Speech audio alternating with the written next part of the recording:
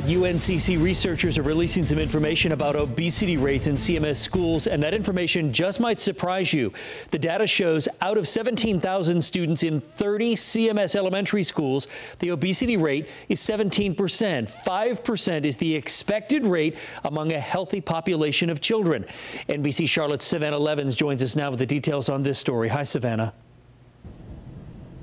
Hey, Bill, yeah, parents I spoke with told me that they were really surprised by this, and researchers said this uh, is a groundbreaking study that looked at all 17,000 elementary school students in CMS using pedometers over a two year period.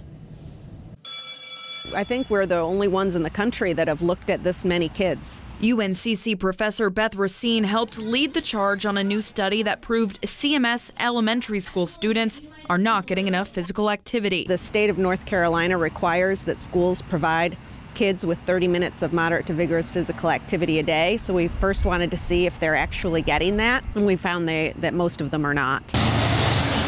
Yeah, I am surprised. I, I mean, you look around the school, you you you don't see it. Parents shocked to learn that only 43% of the students met the 30 minute requirement. It's alarming.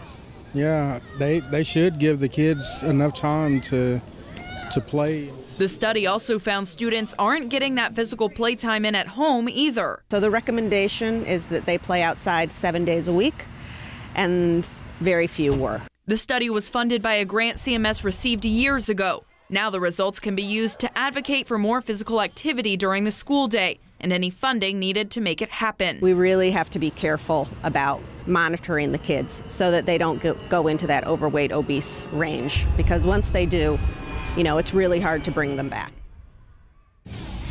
So now researchers are going to take all of this information and compare the physical activity levels to things like grades, suspensions, and absences to see if there's a correlation. Reporting live tonight, Savannah Levins, NBC Charlotte.